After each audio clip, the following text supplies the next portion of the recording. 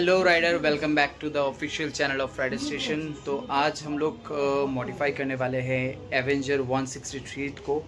तो चलिए देखते हैं क्या क्या भाई ने लगवाए हैं और क्या क्या बहुत यूनिक से इंडिकेटर्स भाई ने इंस्टॉल किए हैं। तो चलिए देखते हैं और साथ में बने रहे वीडियो पे।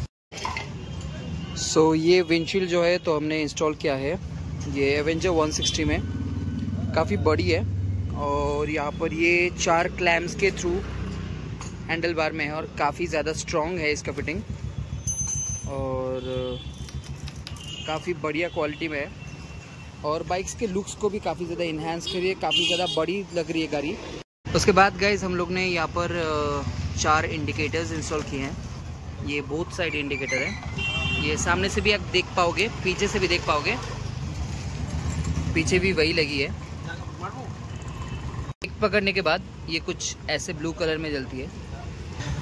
तो जैसे कि आप देख पा रहे हो ये इंडिकेटर तो ये ये ब्रेक पकड़ने ये सामने अगर ब्रेक हम लोग पकड़ रहे पैर का ब्रेक या हाथ का ब्रेक तो दोनों ब्रेक से ऐसे चलते हैं। काफ़ी ज़्यादा कूल लग रहा है।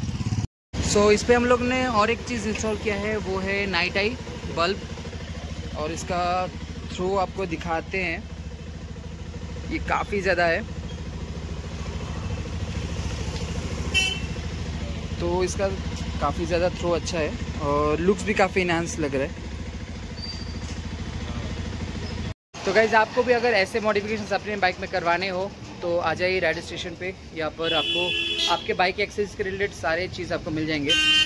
तो बस वीडियो को लाइक कर दीजिए शेयर कर दीजिए और कमेंट कर दीजिए जो भी आपको लगे और आपकी बाइक क्या है और क्या मॉडिफाई आपको करना है, आप भी भेज सकते हो। और नीचे दिए गए नंबर पर हमको कांटेक्ट कर सकते हो। अगर आप कोलकाता से नहीं हो, बाहर से हो, हम लोग शिपिंग भी कर देते हैं ऑनलाइन डिलीवरी हो जाता है।